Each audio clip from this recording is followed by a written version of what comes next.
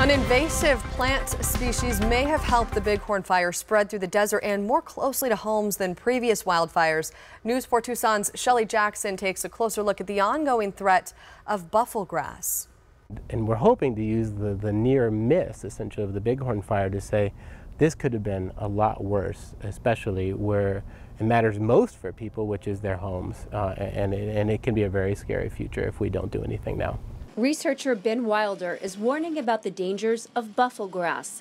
Locally, the invasive non-native species has nearly doubled in the past 20 years. Wherever buffelgrass grows, fire can follow it. As buffelgrass spreads, it creates a link between traditionally non-fire prone areas like the desert and fire prone areas like the forest. As buffelgrass does fill in areas, you know, it forms very dense fuel stands and it does provide fuel for wildfire. So all it takes is an ignition. That with unmitigated expansion of buffelgrass, which is more or less what's happening now in, in the uh, Catalina foothills, that you have these linkages between field types and the fires will be able to either go up in elevation or downslope in elevation, uh, really imperiling uh, the wildland urban interface. Schewel says they haven't seen buffelgrass grow much above Molino Basin in the Coronado National Forest, but it's still a huge concern. When you get this buffelgrass, it'll form these dense, it'll be uh, patches, and it's continuous fuel.